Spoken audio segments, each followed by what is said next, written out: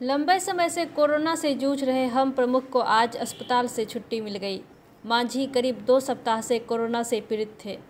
Corona positive होने के बाद से वो होम क्वारंटाइन थे, मगर उनकी बिगड़ते स्वास्थ्य को देखते हुए उन्हें पटना एम्स में भर्ती करवाया गया था, जहाँ उन्हें प्लेटलेट्स भी चढ़ाया गया था, जिससे तेज़ी से उनके स्वास्थ्य में सुधार हुआ और आज उन्हें एम्स से छुट्टी मिल गई। मीडिया से बात करते हुए उन्होंने एम्स प्रशासन को बधाई दी और बिहार वासियों को नए साल की शुभकामनाएँ भी दी।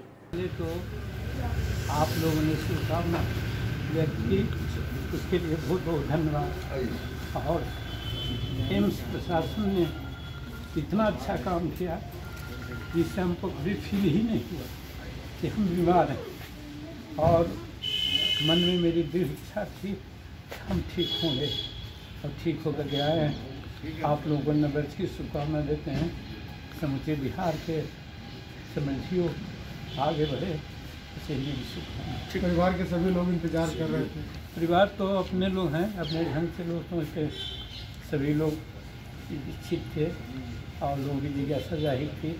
हालाँकि कि हम बहुत पहले अपने परिवार को बोल चुके हैं कि हम लोगों का लाइफ अब क्या है? तुम लोग इसके लिए चिंता मत करना कि हम रहें या नहीं रहें। तुम अपना काम करना। यही शिक्षा आज भी देते हैं। पहले भी बोले हैं और बोलते रहेंगे। क्योंकि ये शरीर नश्वर है, आज नहीं तो कल जाना ही जाना है। इसलिए इसके लिए बहुत चिंता नहीं करना है। फिल वक्त हम ठीक हैं। बहुत बहुत धन्यवाद, बहुत शुक्रिया। लाइव इंडिया के लिए सनी कुमार की रिपोर्ट।